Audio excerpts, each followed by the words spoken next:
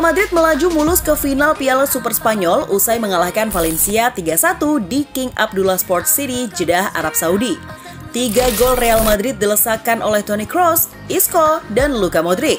الان لوكا يتقدم يحاول يا رب الامير مدريد الله على كرة تصويبة يا رب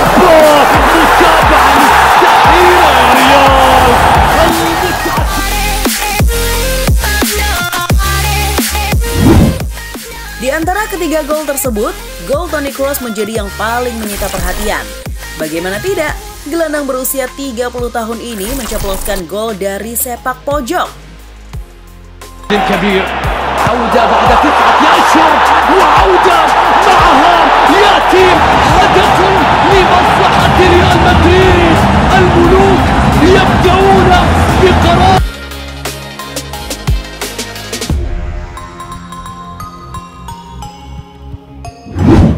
Menariknya, Kroos membuat bola berbelok secara tajam atau kerap disebut dengan tendangan pisang. Sepakan pesepak bola kelahiran Greifswald, Jerman ini membuat kiper Valencia, Jaume Domenech, menepis bola ke dalam gawangnya sendiri.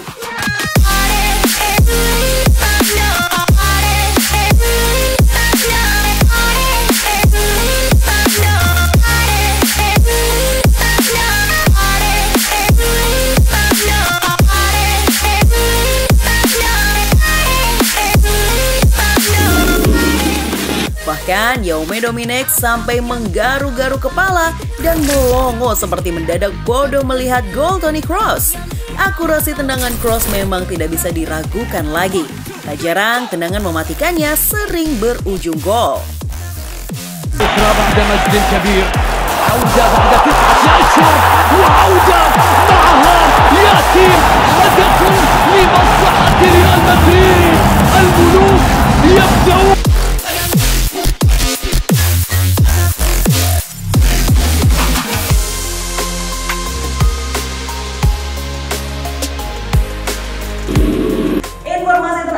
Dari dunia sepak bola pasti bakal selalu kamu dapetin dari FGD Football. Jadi sekarang aku pamit dulu, sampai ketemu di video berikutnya. Bye-bye.